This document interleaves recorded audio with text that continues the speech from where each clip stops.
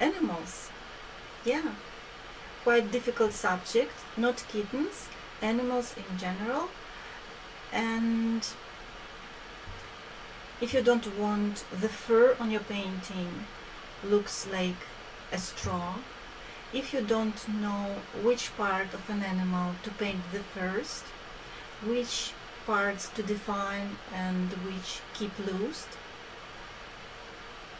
and also, you know, especially when you are a beginner, you want to know everything. You want to know what is the best brush in the world. You want to know about pigments. You think that you should keep in mind everything and everything and paint every single detail, display what you see on a photograph, and just keep so much pressure on that to keep in mind all of this stuff. So today I'm gonna to talk about way about this and the first tip is you shouldn't actually um, especially for today's subject. You shouldn't have all the art materials in the world, have the best brush in the world. You have one brush and this is enough. You have um, the basic watercolor, water-soluble paints, even gouache works well with enough water. And you can start with it. And have the main general thing about what you're going to paint. And pin on it, it pin it. And then develop the other painting. So first think about what you're going to paint what is important what is the main general focus on your painting. And don't think hard on all the other stuff about materials about um, how to capture every single details and today I'm going to talk about that. And also for example for animals. For animals it's important to it's all about eyes right so this actually the main focal point when you paint and I have many courses where I showed how to paint eyes so I don't spend much time today on how to paint eyes. Today, um, when you capture eyes, when you exercised and get it, eyes are here, looking at you. If you still have something wrong and something, no, I just don't get it, I will talk about and give you tips on that, how to check up yourself, how to correct something, and how to have a guideline behind the painting to continue to develop your painting or correct something by the way. So I'm going to talk about that.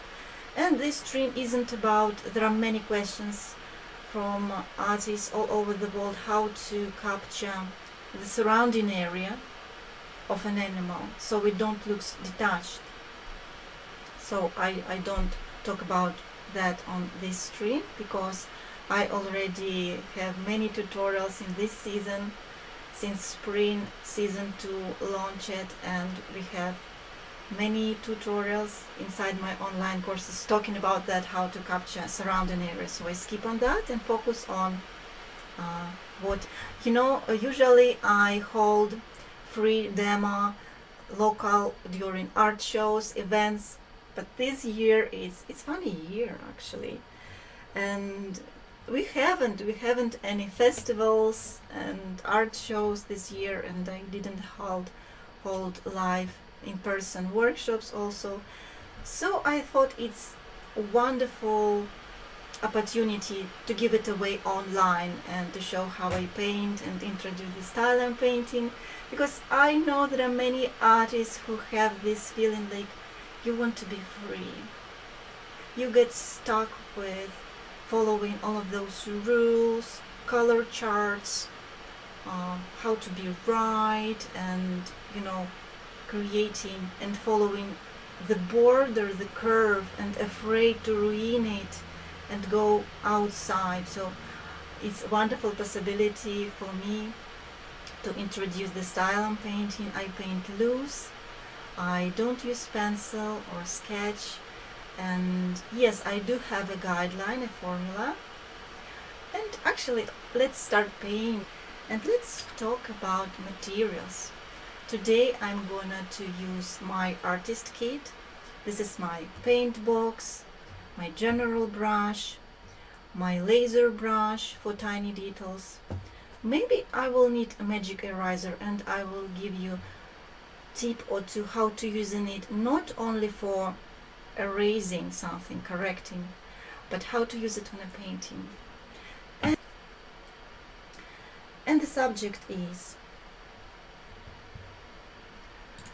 on my previous uh, workshop with my students, I promised raccoon. We saw raccoon um, on our backyard. And you know what? We saw raccoons. There are many. It was seven of them. We were so excited. It was late night. Even if it was late night, I took my camera and captured the darkness only flashing eyes were seen and noises. We now we counted seven, but who knows? Maybe there are even more. And they hanging out on a bird feeder. And also this animal. When if somebody asks me uh, what animal associates with the Canada, I think raccoons their tail, their mask face and I wanted to show you in this demonstration how to paint this funny subject. Uh, this here is very special for me personally and I'm happy to be Belarus Canadian. And in this stream I'm going to show you how to paint a raccoon, Canadian raccoon. So let's the eyes. And if you if I look at the at this photograph I might draw kind of line and it helps me a lot because when I'm going to paint I I draw this imaginary line on a paper. And this line will guide me how my painting going to develop. And then if I look at the photograph and connect edges. I achieve kinda square. I know it take time by exercising with composition. You gradually exercise your mind and you start to see shapes behind complicated subject. You start to simplifying. And this is why I talk about that because this is so important and it it's so much easier and simpler to paint once you establish this skill to simplify and to see the general simple shapes behind complicated subjects. And here we have this triangle. I think how to place it here also. So I have this, maybe like this. I know here will be the upper corner here will be another and somewhere in the bottom will be the bottom edge like that. So I already can see that somewhere here will be a head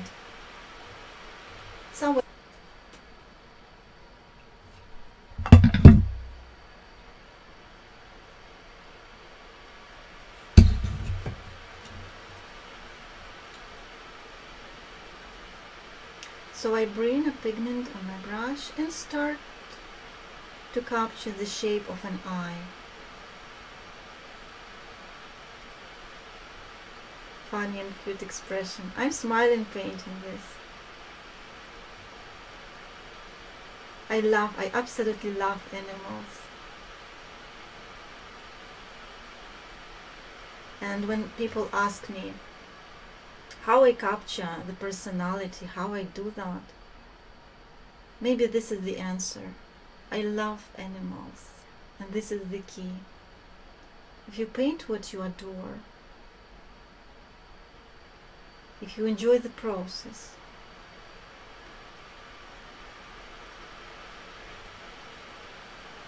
everything. So I reserved kind of blicks.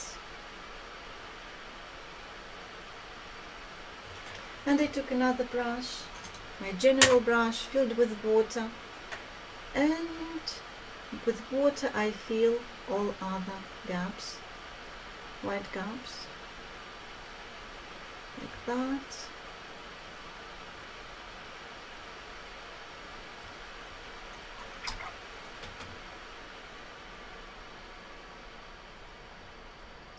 maybe I go around an eye already. And I'm going to move my brush in a way the fur grow. If I explore the photograph, I see those lines. So I move my brush in the same way, just to start, like that. Here also. Maybe there. And with wet brush filled with water, what I can do. I can have fun with it. I can come alive those spots of dark pigment on a paper. And this is why I love a watercolor, because only watercolor create those flows. Especially for fur illusion.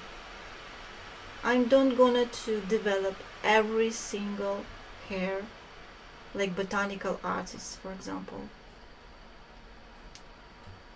This is enough. You saw I applied just two brush strokes in the bottom and upper. And this is it. And this is the simplicity of this medium. And the more I paint, the more I learn to stop in the process and don't continue to, you know, keep adding details. This is wonderful possibility to paint a few strokes just a few I see beginners get involved into this and paint every single whisker every single hair. Okay? And maybe softer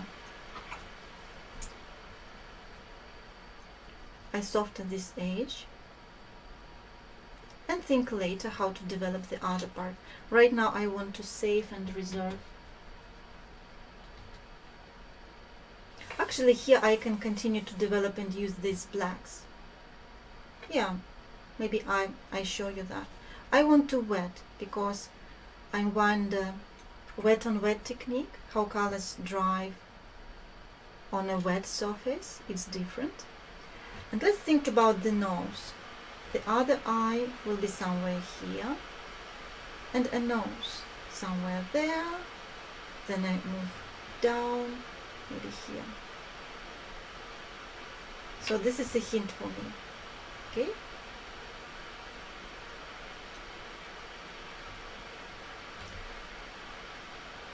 So I have this white surface and what watercolor does? And another thing do you see those whiskers? I can resolve them with white wax crayon. It could be a candle or masking fluid. I use simple from school kit white crayon, wax crayon, and I can reserve it already. So somewhere here, a few whiskers. Let's see how it works. And I continue to develop draw area where I want the black kind of here and there. Good. Okay, now I need extremely rich blacks. For that.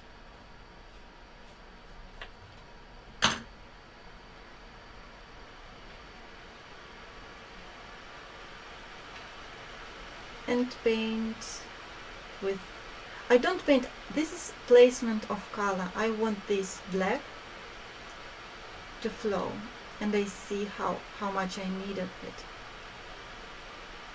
and connect with the eye. Because when you draw kind of like this yes you can do that but I prefer the medium to paint for me. I feel like I'm not alone and I have a friend and we paint and creating together. So my part I try to optimize and apply less and give the medium the room to paint for me. So kind of like this. Oh it's so dark.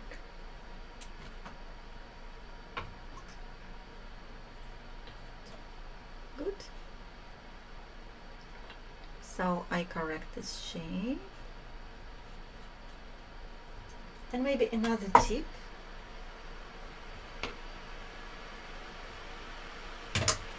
What if I turn a painting and let this pigment to travel in this wet area?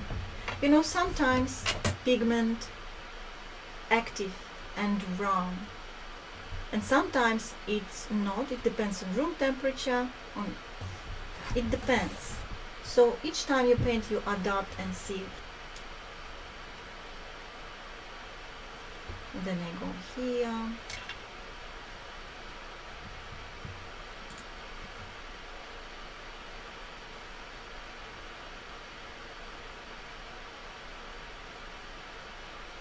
A few hairs for realistic look. And as you can see wax doesn't work. What I can do with that I can take a, dry brush and try to and for another eye I want something different maybe add warmth.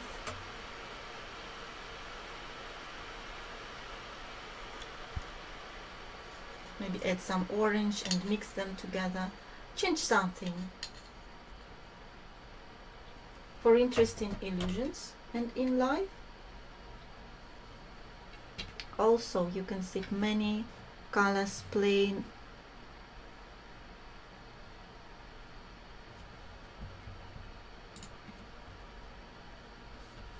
the other eye actually on the, on this photograph is a little bit lower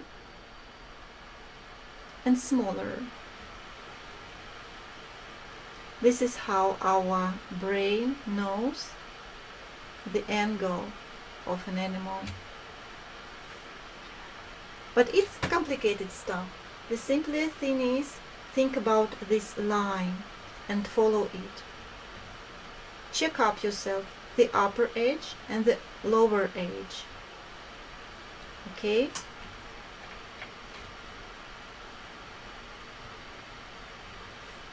and distance also if this is a center the same space will be this will be the inner corner? Yes a hint for you. If you're not confident like I am right now I'm not confident I'm searching where to place this eye. Create those little points. Like that. Little little points. But you should be strong in proportions and check if this eye another eye on a one line okay and the upper edge also you check out this okay?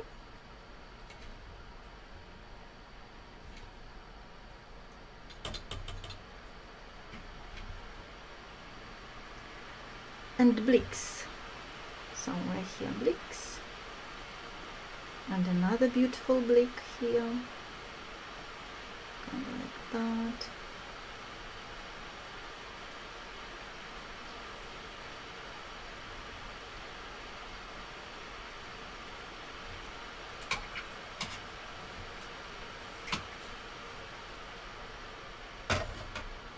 maybe paint directly with orange because it's going to be mixing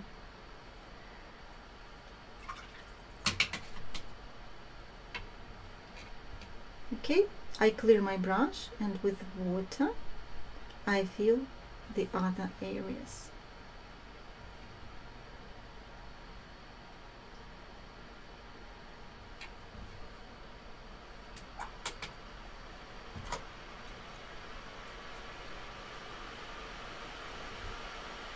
So I'm checking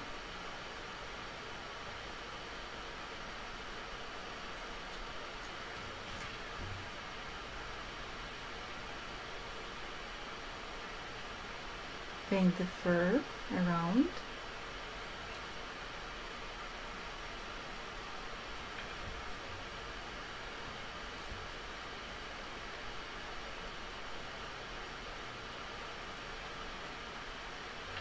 See it?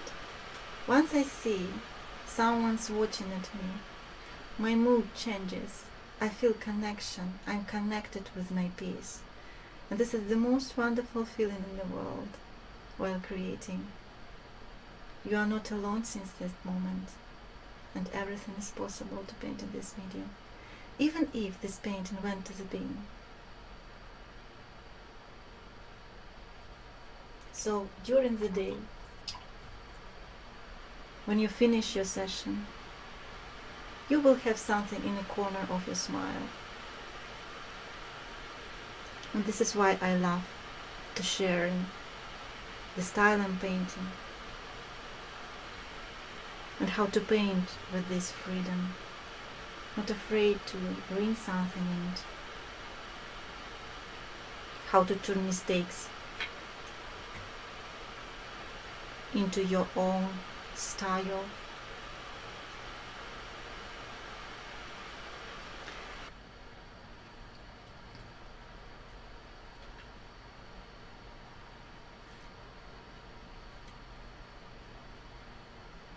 that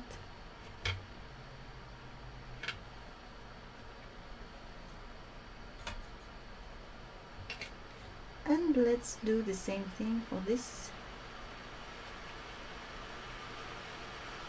another thing which gives me freedom and permission for mistakes is that I saw him, I saw them, I saw raccoons in the dark. So how how it's possible to see the details and all this stuff? So each time you paint, even if you paint from the photograph, follow your own experience, what you saw, what you felt about your subject, and use the photograph just for general parts just to know where the nose will be and stuff and make it personal.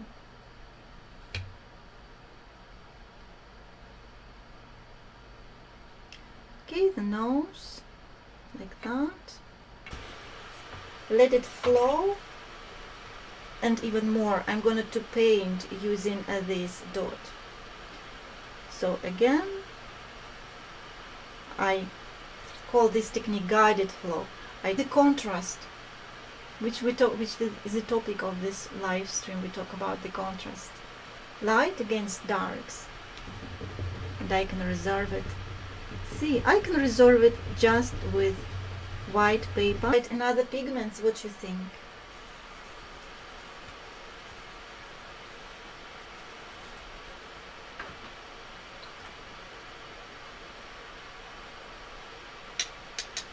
I have Lumi Pink in my paint box.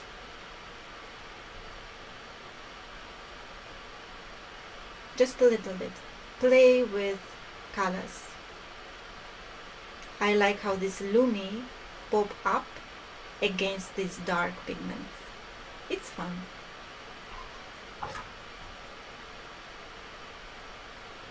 Maybe yellow for warmth also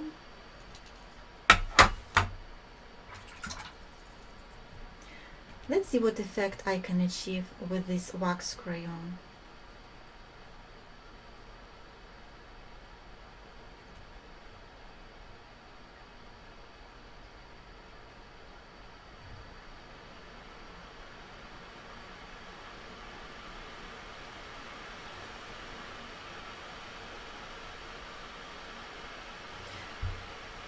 when you paint and feel pressure, forgot to breathe. I know this feeling. I was there when I was a beginner. I had so much stress on how to be right.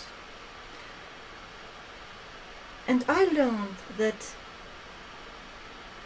on a perfect stuff, your mistakes, this is what makes a painting alive, unique, and most of all, interesting, intriguing.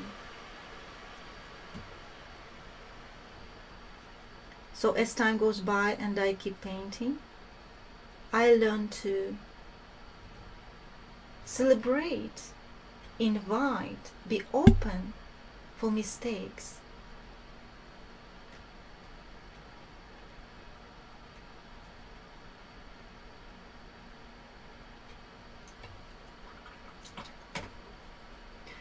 As you can see here, as my paper, I forgot to tell, my paper, I don't uh, paint on flat surface.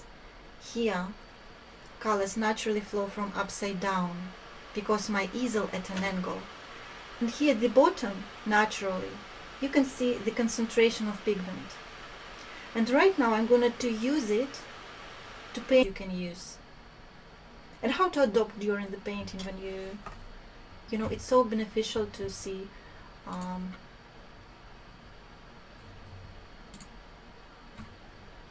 so this is the lowest edge somewhere. If I draw a line yes if I draw a straight line it will be underneath this eye see it? So here will be the leg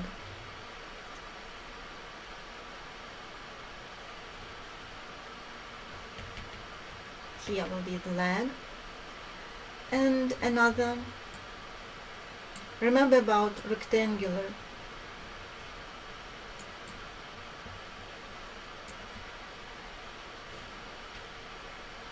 So somewhere here will be the leg. Yeah? Kind of here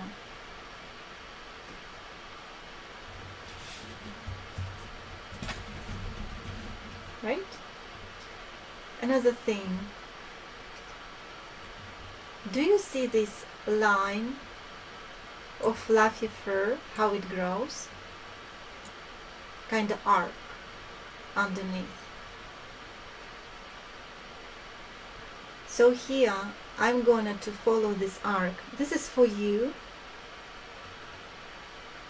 I showed you how I'm gonna to develop this painting so you understand how I use the water flow for fur illusions. Kind of like this. While I was talking this dot almost dry. It's still warm here in Ontario in September. So I help it and place. A little bit of pigment okay. And I wet this brush with clear water.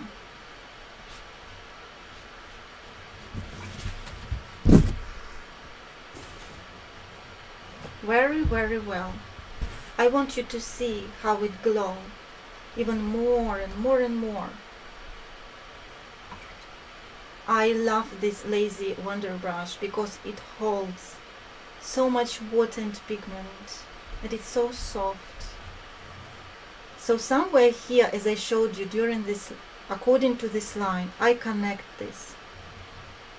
I make step back and look how it going to flow. I can turn my painting and guide this flow.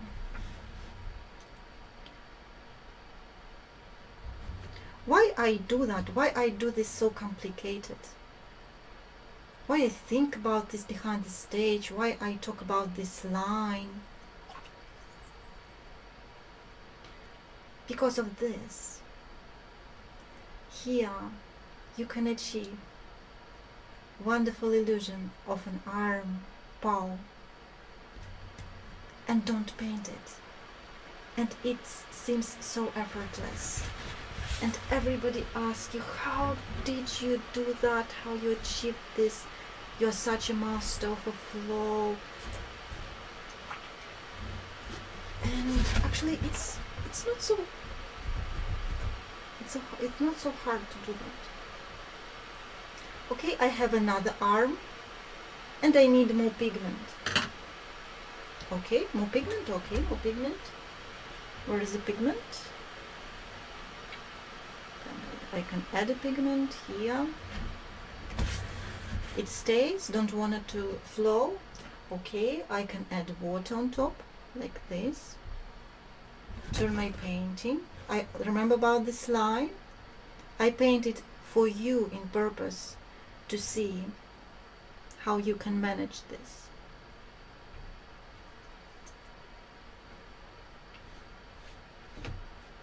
This is what I wanted to show you, how you can manage it on, on a painting.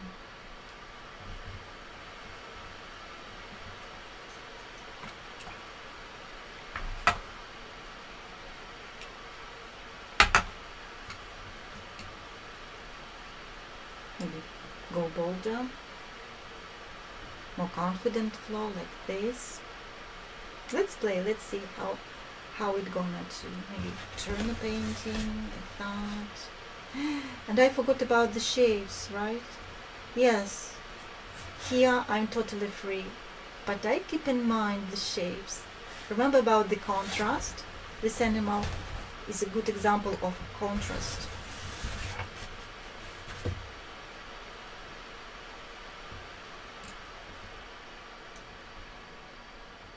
oh I love I love this spontaneous brush stroke. I can turn this into uh, what so let me know in the chat are you ready to continue or you you get stuck on that this is enough like let me know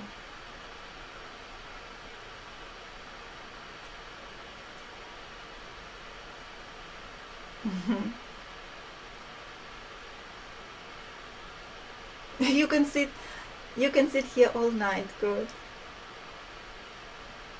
Still with me.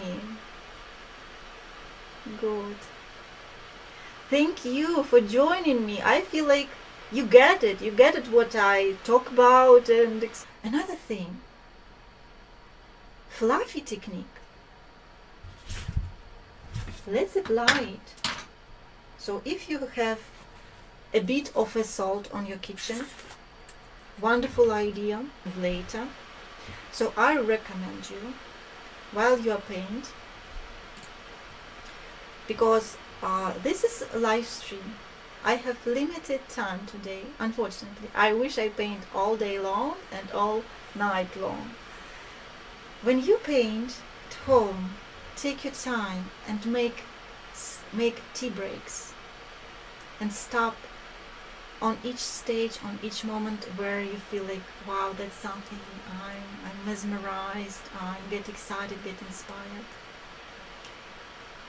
Because when you develop a painting quietly, not rush,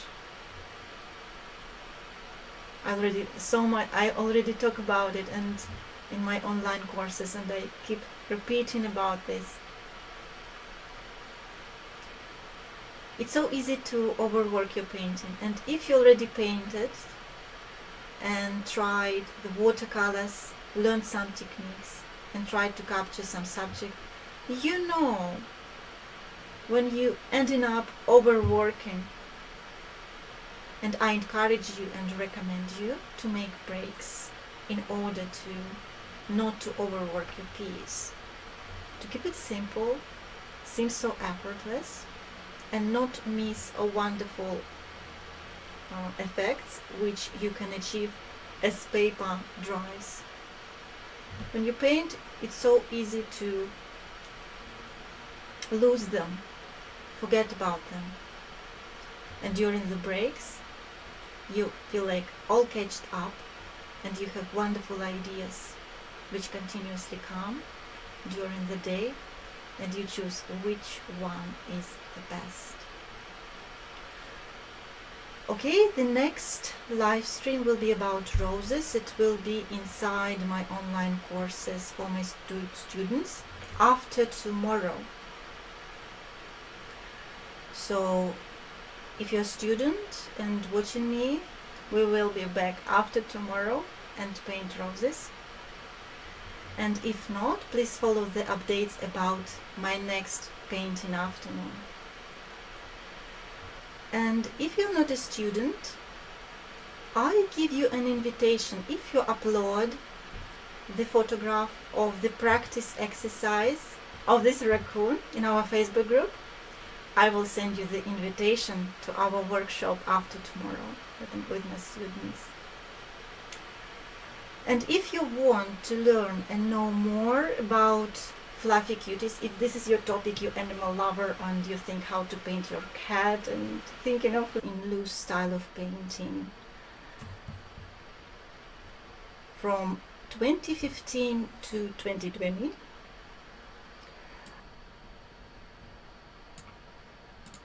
let me show you the portrait the Fargo dog multi-subjects which one?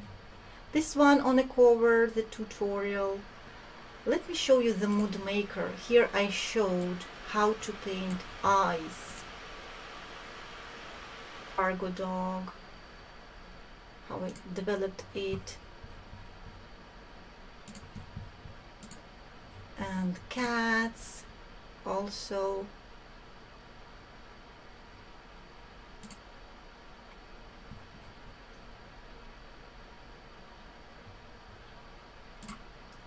what else we have? We have horses.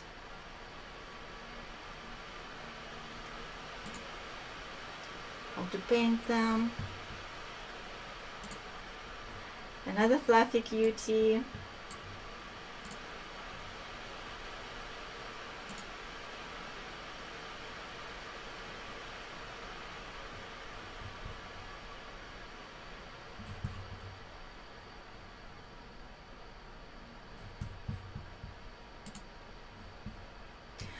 um, this part is I have many tutorials actually.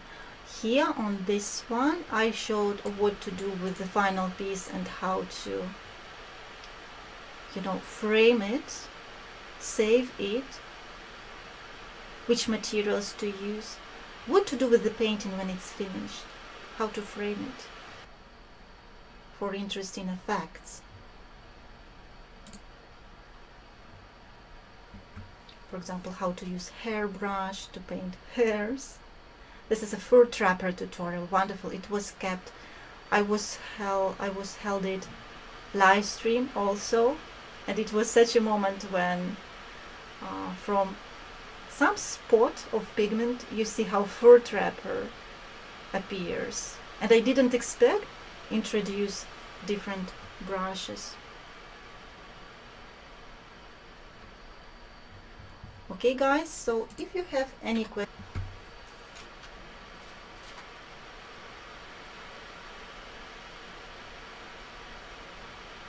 the artist kit is sold out.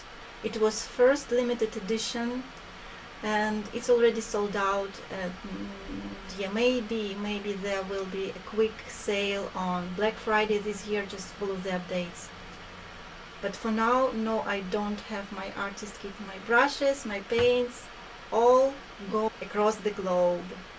And I'm so happy about that. So yeah and I forgot to tell there will be grand opening of my online courses soon. Dates are ready and will be sent sent soon I'm just checking on them. It's such an easy thing to do get lost in all of those materials so I'm checking. And yeah. And be ready to register as soon as you get the invitation because the opening happens only twice a year in fall and in spring. So for, for the next season season 3 the opening will be in a few days. Okay? And yeah in this session I showed you and demonstrating you how to paint animals give you some tips and tricks on a fur. I'm glad that I said everything what I wanted according to the composition and how to check in yourself during the process while painting because sometimes it's uh, because of pressure it's hard to you know um, have this calm feeling like everything is fine. You can make a break relax on some point. Because you have a guideline. Uh, and yeah did let me know in comments below. Do, did you enjoy this live stream? What's your favorite tip what did you learn? And yeah I applaud your practice exercising in a Facebook group. And I will see you after tomorrow or on my next painting afternoon. So yeah this was it. I hope you